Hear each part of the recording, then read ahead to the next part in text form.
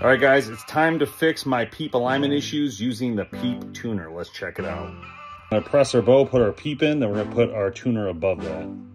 This is a non-tie peep from Trophy Ridge, and basically we're gonna do a figure eight in there. So with the peep tuner, you can install two different ways. I use the bow press, so I split it, and then I was able to just drop it in here. However, you can just put it here and then work its way up the way you want it. Now check this out. So when it's in, you see how it's turning it slightly.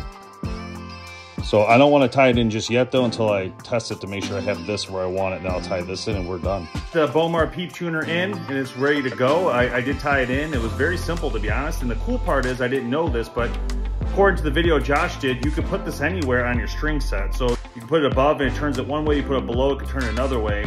Then you can actually even put it down in here. It doesn't really matter as long as you're on the string here because it's gonna twist that string somewhere in the, in the process.